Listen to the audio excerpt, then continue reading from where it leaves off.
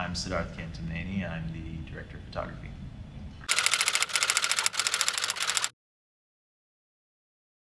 I mean, I love making movies. Even a bad day on a movie set is a good day. Um, the nightmares are like, like I said, there's real, very real things about safety that you know sometimes corners get cut, and you know it's at a point where like that's never okay. Um, but no, I think I think usually the like quirky, silly problems are just like, oh, we're not on the same page, and like that's not possible. But we'll figure out how to make it work. I mean, a challenge on a movie set is still an exciting day working on like the thing I've wanted to do since I was a little kid. I think my proudest moment as a DP was when I, you know, got a call one day from the guild president saying that I'd won an award, and I really, I mean, I was excited for myself, and I was proud of myself, and I think I did a good job in that movie. But I was really proud to be able to call the crew every member of the crew and be like, hey, you guys won this award. Um, and I think seeing that movie at the screening with, you know, it was a big screening out in Hollywood, like at the Directors Guild and that kind of thing. And it was alongside some really good, fantastic movies. Um, and I still keep up with the DPs that shot those. But at the end of our movie, you know, we've been, I was third or fourth in line, and I'd watched all the credits for the previous movie, and it was like, oh, these are like 60 person union crews working on all these short films. And then my movie came up that was also screening at a red carpet event at the DGA and that kind of thing. And it was like 15 people that we'd all gone to college together and made movies in like dorm rooms and backyards. And I was like, okay, this is cool. Like, it was like a little bit of an extra pat on the back to be like, oh, my friends and I just made a thing that's as qualified, as good as as this like industry standard thing.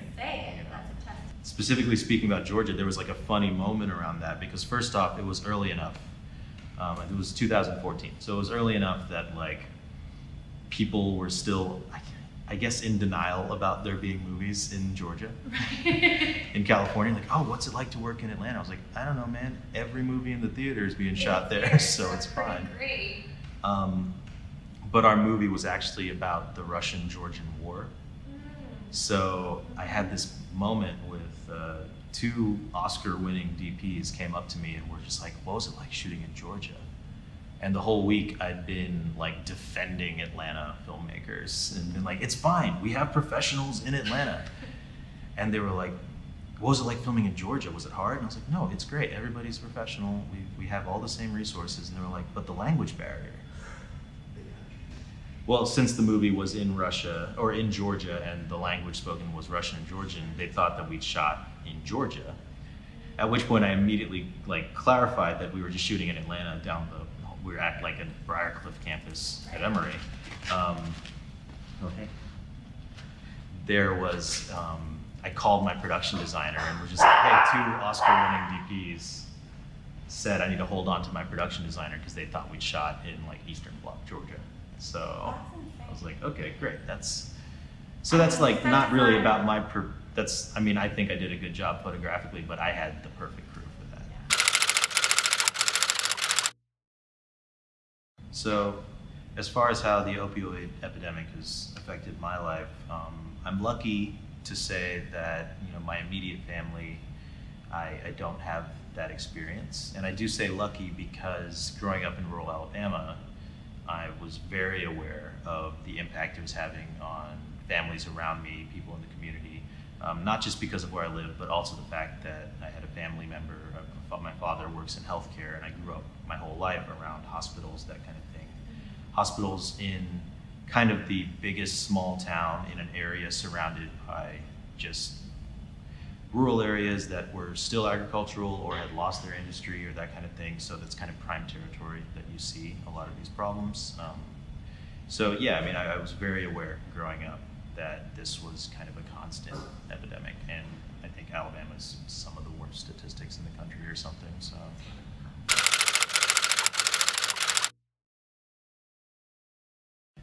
Um, I mean, I work on a lot of short films, and kind of the result of that in a place like Atlanta is that there's such kind of a thriving indie scene and there's a quality level that like I've not had the opportunity to work on a lot of short films because like you work on some and it's doing well and we're kind of getting work and there's a lot of work on like major stuff going around. Um, so the time to work on these independent films where you have more control and more kind of room to experiment is limited. And um, you know, you and I had worked together and known each other socially, but um, it's been a long time since we've been able to work together on a, on a project. But no, I think the thing about Lifebinder that's interesting is like there's a heart to it.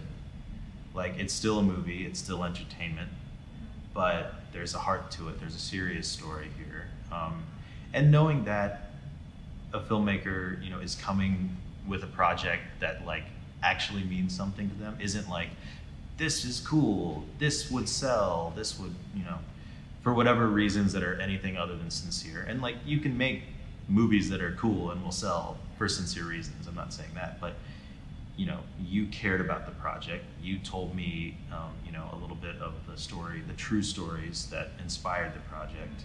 So like, that's kind of like check one. Like this script means something. It's actually has like a human element to it. And then beyond that, like you know, just when we had our conversation about the look of the film, and it's not just hey, I need a I need a camera guy. I need somebody that can light this and make the actors look pretty and point a camera at them. It was, you know, from our first meeting, you're the one that brought up like how we didn't want the camera to be just literally capturing what's happening the same way that like every TV show that we see does it, but like how can the the way the camera moves and the way the scene is lit really emulate not just the literal telling of the story, but the emotional telling of the story. And like, you know, there's we've talked about using the perspective of each character's kind of emotional state to dictate, how the party scene at the beginning of the movie is lit. You know, when Blair comes charging in and she's frantic and she has, you know, this singular goal of saving her little sister, we've talked about like how to emulate that as like almost a tunnel vision effect and how to selectively light her sister on the couch, even in a crowded party, and maybe even shut out all other imagery um, in a way that would is is almost like theatrical in a stage sense, but is really just like no, that's what an older sibling is feeling when they don't care about anything else in the world. They're saving that person, um, and then doing lighting effects and lensing effects that um, demonstrate kind of the the lack of focus and the confusion that happens, whether it's in these moments of fear or it's in moments of like substance abuse and how to affect that. Um, we talked about like how the past could be shot one way in a more kind of looser feeling and not just like nostalgia for nostalgia's sake, but like what about their more youthful kind of freewheeling rock and roll lifestyle can be emulated by a handheld feel or a certain a certain kind of like wandering focus feel versus current Blair and Adam being more static and clean and like we've we've minimized and we've kind of sort of structured life a little bit more and how the camera can reflect that. So honestly, you know, just having a conversation with somebody that says like I'm telling a story that I care about, and I care about the way it looks in a way that is actually unique to the story and not just, I want to make it look like that mm-hmm. because that's doing well right now. Or even because that's how I think it's supposed to look because that's the only thing I ever see.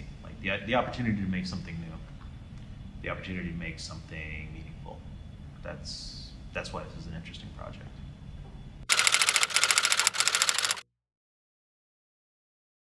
Okay, so I'll eat just about anything that's at Crafty ever, which is the problem.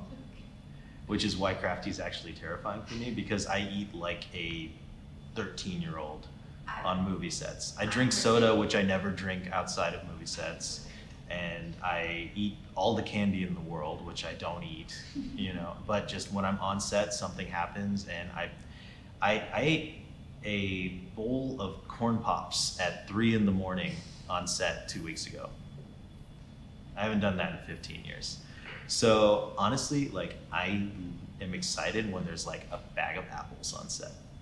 Because I know that I'm gonna keep on going to Crafty. Like I know that I have no control about that. Like if we have five minutes between takes, I'm gonna run to Crafty and grab whatever I can. So at least if there's like, I, I it just happened last year. I just realized like I'm just gonna eat apples. I'm just gonna be that guy. And whether as a cameraman or even as a director on some sets, I was just sitting in Video Village just eating apples and and somehow that's become my like on set like saving saving grace of Good Crafty. So no corn pops. Yeah. Well, I mean, I'm not saying don't have corn We'll have- pops. I'm just saying have we'll apples too. The good and the bad. We'll have put the two next to each other. right. And just every time I get to crafty, I have to check and choose, and I start sweating and pulling my collar and stuff. This perfect.